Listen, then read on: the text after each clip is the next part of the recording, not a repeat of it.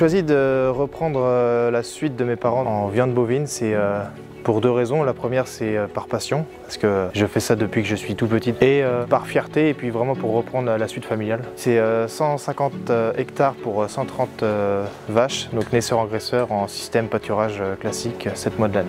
Ça me tenait vraiment à cœur de reprendre la suite.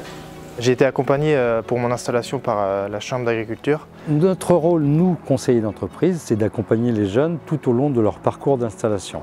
Donc on essaie de les guider, on essaie de répondre à leurs questions, à leurs interrogations, et aussi parfois de les mettre en garde sur leur choix d'investissement ou de fonctionnement.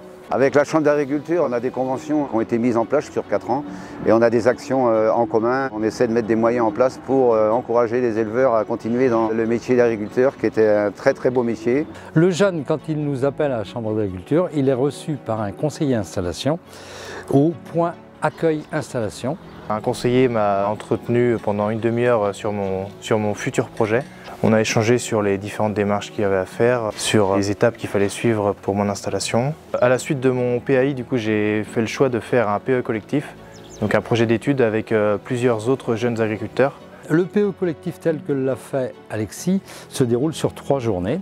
La première journée est consacrée à un rappel des règles de comptabilité telles que le bilan, le compte de résultat, les différentes composantes d'une comptabilité. Ce qui a été positif euh, dans ce PE également en collectif, c'est qu'on a été suivi par des conseillers de la Chambre qui nous ont aiguillés tout au long sur notre projet pour nous indiquer la viabilité de notre projet, si c'était cohérent. Nous, conseillers d'entreprise, on passe chez les jeunes candidats à l'installation de façon à prendre les données technico-économiques qui serviront à bâtir leur projet d'installation.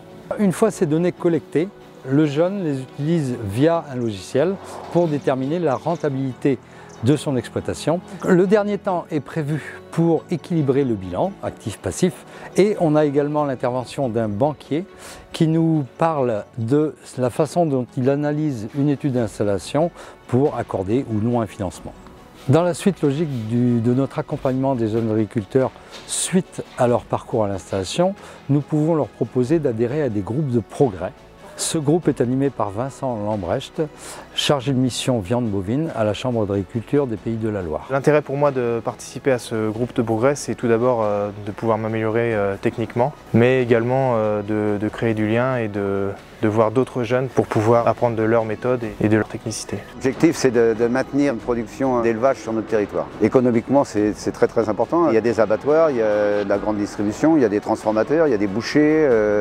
Ça permet la conservation de prairies permanentes qui derrière entraîne la, sauvegarde de, différentes espèces végétales et animales. C'est très important aussi pour la santé de nos consommateurs. Si on a de l'élevage de proximité, on peut alimenter euh, nos cantines euh, et tous les citoyens. Le message que je peux passer aux jeunes qui souhaitent s'installer, c'est euh, d'abord de bien s'entourer auprès de professionnels qualifiés.